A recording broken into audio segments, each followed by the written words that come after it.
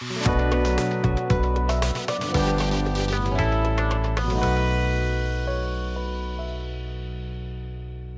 name is Nikhil Manohar Kadam. My overall experience uh, at New Roots Clinic was good. Every month I receive uh, follow-up calls from the staff. They asked me for uh, before after pics. Today I have came for my PRP. Uh, the result uh, before uh, I had the surgery and after uh, this surgery is very good. My density and everything uh, which I was expecting uh, is as per my uh, expectation and I am very happy with my surgery.